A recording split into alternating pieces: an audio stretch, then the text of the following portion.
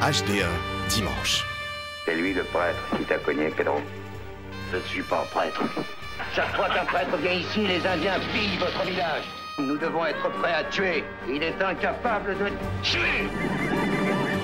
Teclo a raison. Pour avoir le ventre plein et un toit au-dessus de vos têtes, vous devez vous battre.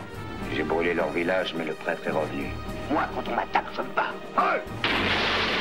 Laissons-les faire la récolte. Regardez Et puis nous attaquerons.